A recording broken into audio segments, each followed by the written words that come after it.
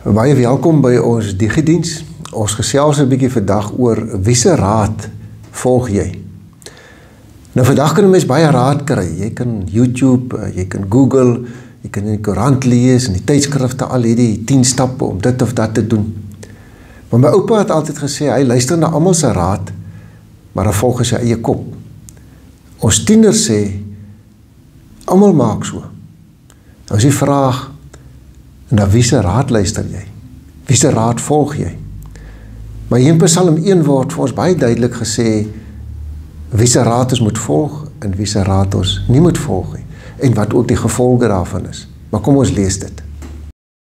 Gelukkig is die mens wat nie die raad van goddeloses volg en nie op die pad van sondaars gaan staan en nie in die byeenkoms van spotters sit nie. Maar wat vreugde vind in die wet van die Here en sy wet dag en nag mymerend prewel. So iemand sal wees soos 'n boom wat geplant langs watervore wat sy vrugte op sy tyd gee en waarvan die blare nie verdor nie. Alles wat hy aanpak, gedei. So is die goddelose nie. Inteendeel, hulle is soos kaf wat die wind wegwaai. Daarom sal die goddeloses nie kan opstaan tydens die regspraak of sondaars in die byeenkoms van regverdiges nie. Ja, die Here dra sorg vir die pad van regverdiges, maar die pad van goddeloses loop dood. In hierdie Psalm word sommer dadelik gesê wat gebeur as jy die regte raad volg. Gelukkig is jy, welgeluksalig, drie maal gelukkig, dit gaan goed met die wat hulle vreugde vind in die woord van die Here. Maar aan die ander kant word daar ook gesê wie se raad jy nie moet volg nie. Moenie die raad van die goddelose volg nie. Hierdie mense wat sonder God lewe. Moenie omgaan met die sondaars nie. En moenie sit daar waar bespotting van die Here gemaak word nie. Want hierdie raad lei net tot ondergang. Hierdie mense se raad het 'n invloed op jou lewe en 'n mens is mos maar baie beïnvloedbaar. Maar as ons hier lees wat die psalmdigter sê, dan sê hy hierdie raad is eintlik selfvernietigend. Dit het geen waarde nie. Dit is soos kaf. Dit word net rondgewaai. As jy hierdie raad volg, dan is jy eintlik op die pad van selfvernietiging, op 'n pad van ondergang. Want jy dra nie vrug nie. Jy beteken vir niemand en niks iets nie. Maar wat moet ons dan doen? En dan kom sê hy: "Gelukkig. Dit gaan goed met die persoon wat sy vreugde vind in die woord van die Here en dit dag en nag oordink. Ons lees in die 2020 vertaling dat die oordink van God se wet uh word hier vertaal met mymerend prewel. En dit beteken eintlik om om dit saggies vir jouself op te sê sodat jy dit kan leer ken en gedurig daarvan bewus is om te weet hoe om in elke situasie op te tree.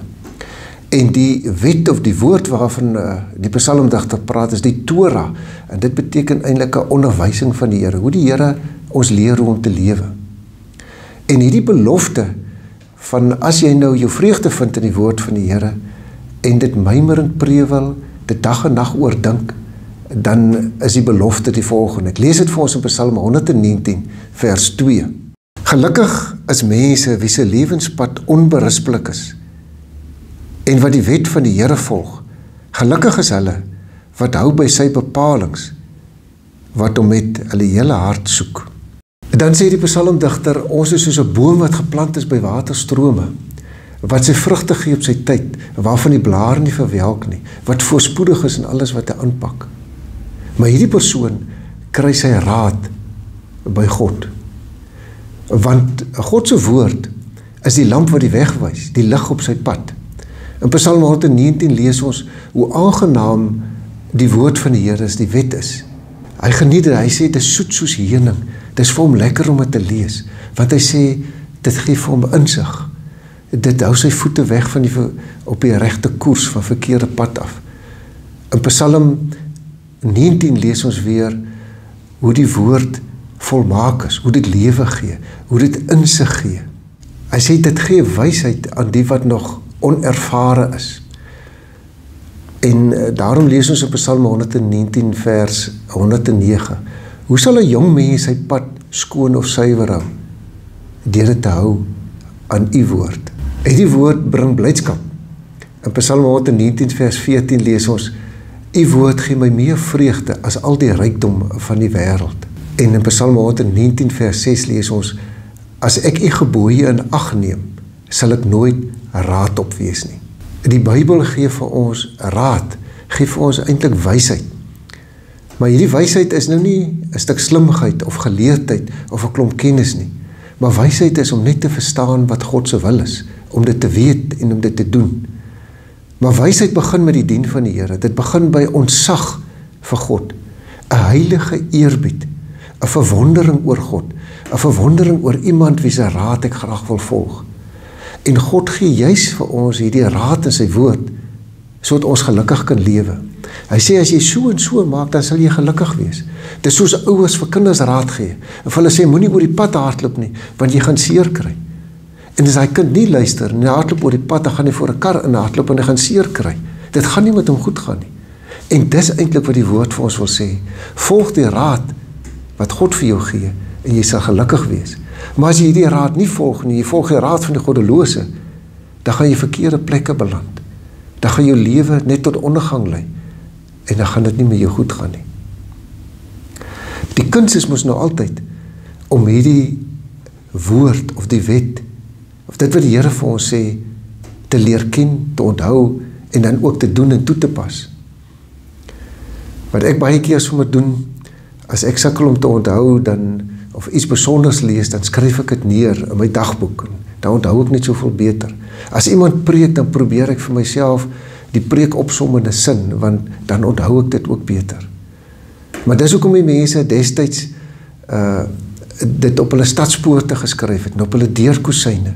Want in Deuteronomium 6 uh, sê die Here, julle moet julle kinders leer hierdie gebooie as julle sit as jy opstaan, as jy op pad is, as jy gaan slaap. Jy moet dit eintlik by hulle inprent.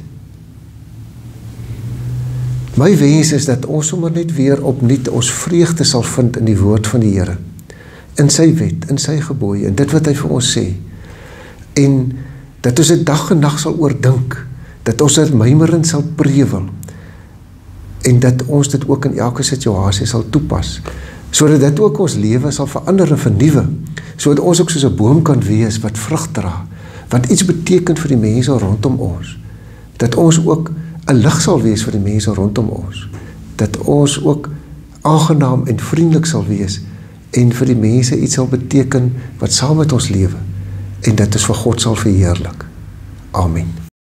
Here ons wil vanoggend net baie dankie sê vir u woord vir u wet vir u gebooie wat vir ons die rigting en die koers aandui wat ons voete van die verkeerde pad afhou Dankie dat dit vir ons insig en wysheid gee.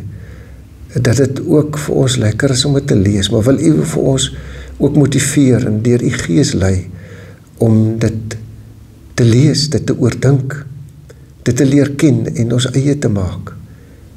Dat ons dit ook vir ons kinders sal leer, vir ons kleinkinders, sodat hulle ook die vreugde en die geluk kan hê wat U vir ons beloof.